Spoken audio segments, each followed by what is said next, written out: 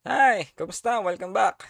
Ngayon pag-uusapan natin yung top 2 holdings ko. Basically yung buong portfolio ko pero since yung um, focus ko usually yung top holdings ko, I want to make sure na uh, medyo updated ako dun sa happenings lalo na dun sa mga CEO nito.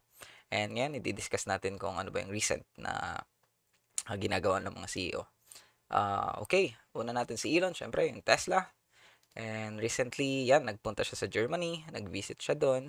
And nakakatuwa dito, mukhang good mood na good mood siya. Going through all aspect of next gen Model Y production system with team. Lot of talented people at Giga Berlin. This place will rock. So, yeah, this is a good sign na um, pwede talagang, uh, alam mo yun, mag, mag-overshoot again yung stocks ng, ng Tesla once na nag-open na tong Berlin, yung Giga Berlin uh, ito rin yung magiging catalyst para mas ma-dominate nila yung yung market sa Europe. And um, okay, I guess yun yung pinaka main news for uh, for Tesla and Elon for today.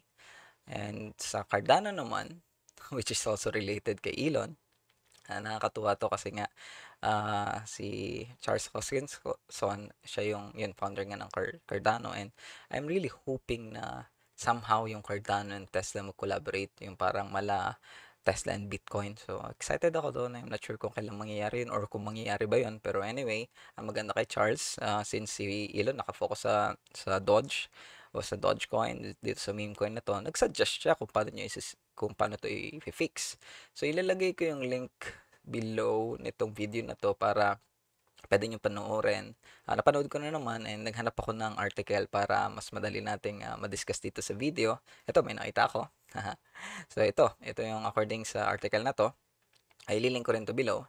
Uh, sabi niya, uh, pwede raw gumamit si um, ang Dodge community or si Elon, pwede niya suggest na gumamit ng Prism protocol.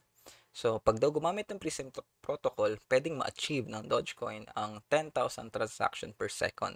So, this is really good kasi nga, uh, uh, isa sa mga disadvantage ng Bitcoin ay minimal lang yung transaction na kayang gawin niya sa sa per second. So, this will help yung ano, yung efficiency ng Dogecoin. Another one is tong ASIC resistant. Actually, ginugol ko pa to sa tinatay together. Medyo nahirapan din akong tingnan. Pero para raw maging ito, ASIC uh, resistant, hindi ko alam kung tama pronunciation ko, uh, gumamit daw ng uh, hash core algorithm. So, nung sinerch ko, ang ibig sabihin pala nun ay application specific integrated circuit. So, basically, para naka-design siya for a single specific purpose. So, for Bitcoin ASIC, uh, para siyang yun lang gagawin niya, magmimina siya na magmimina. So, ito raw, mga ASIC na to, medyo limited yung supply nito eh. So, somehow, nagiging centralized ngayon yung mga may hawak ng, ng Bitcoin. Kasi nga, kung sino yung may-ari nito mga to, sila yung mas maraming mamimina.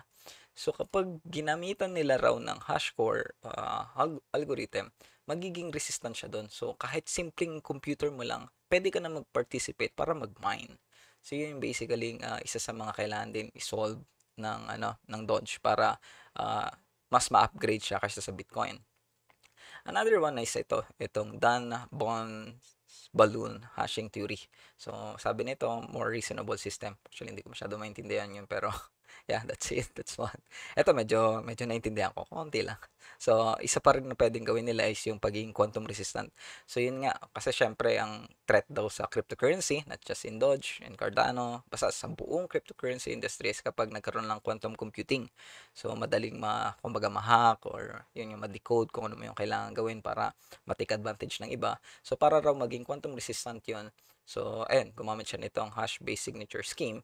And lastly, uh, nag-recommend siya ng Ergo script. So, para magkaroon ng smart contract. So, ang ganda, no? Parang, ang ganda lang ng attitude ni, ni Charles na instead na i-push niya yung Cardano sa Tesla, sige, kung gusto mo yung Dodge, ito yung pwede mong gawin para i-improve yun.